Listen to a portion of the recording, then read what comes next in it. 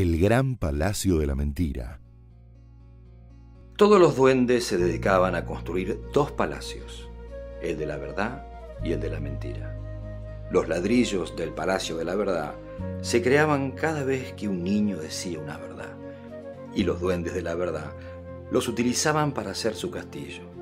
Lo mismo ocurría en el otro palacio, donde los duendes de la mentira construían un palacio con los ladrillos que se creaban con cada nueva mentira. Ambos palacios eran impresionantes, los mejores del mundo, y los duendes competían duramente porque el suyo fuera el mejor. Tanto que los duendes de la mentira, mucho más tramposos y marrulleros, enviaron un grupo de duendes al mundo para conseguir que los niños dijeran más y más mentiras.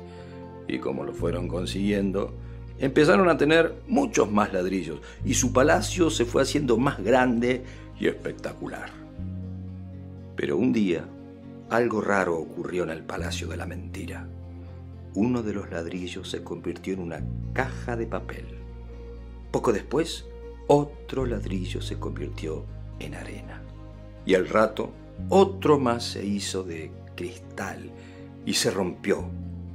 Y así, poco a poco, cada vez que se iban descubriendo las mentiras que habían creado aquellos ladrillos, estos se transformaban y desaparecían, de modo que el palacio de la mentira se fue haciendo más y más débil, perdiendo más y más ladrillos hasta que finalmente se desmoronó. Y todos, incluidos los duendes mentirosos, comprendieron que no se pueden utilizar las mentiras para nada, porque nunca son lo que parecen y no se sabe en qué se convertirán. Hola chicos, soy el Puma Goiti y gracias por dejarme que les cuente este cuento. Cuenten conmigo, ¿eh? Cuenten conmigo para decirles cuentos, para que juntos disfrutemos, disfrutemos de esto, de los relatos, de las imágenes.